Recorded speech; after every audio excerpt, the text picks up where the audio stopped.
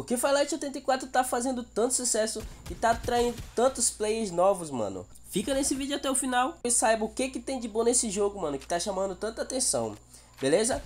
É, uma das coisas que mais está chamando é, novos players, mano, e tá fazendo muito sucesso no jogo é a questão de ele tá dando verificado, mano, é, e fazendo influências com apenas poucos é, seguidores e inscritos. Por exemplo, é, para se candidatar para se tornar é, influencer no jogo, basta apenas ter 2 mil inscritos no canal do YouTube.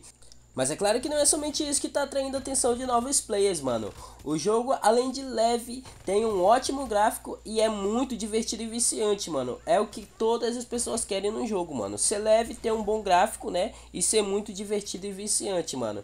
Tem uma jogabilidade muito boa e eu pessoalmente gostei bastante foi da movimentação que tem no jogo, mano. Já que eu sou jogador de Free Fire e curto fazer uma movimentaçãozinha, é claro que esse tipo de coisa também me agrada bastante. Pode até parecer que eu tô elogiando demais o jogo, mas mano, vem me dizer que vocês não viram falar muito desse jogo nesses últimos dias.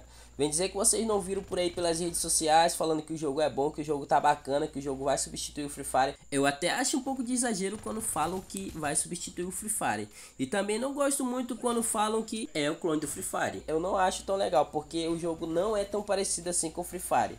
É, mano, e uma das coisas também que é ponto forte aqui nesse jogo, mano, é que ele escuta a comunidade. É isso aí, tropinha. Os play mais antigos aqui, é, o jogo não é novo. Os play mais antigos aqui, mano, pede e o jogo tá demonstrando sim que se importa com a comunidade e que escuta a comunidade. Já atendeu alguns pedidos aí da comunidade do Farlight. Diferente de alguns jogos aí que nós estamos acostumados a falar, falar, falar e os criadores aí, né, é a empresa nunca dá ouvido pra gente. É, minha tropinha, também tem outro ponto forte aqui nesse jogo, mano, que é eles estão é, meio que facilitando bastante, né, se comparado a outros jogos, é a questão de campeonato aqui. E se comparado a outros jogos, esse daqui parece que realmente vai se preocupar é, de ajudar também aqueles players pequenos e aqueles players que são desconhecidos aí no cenário.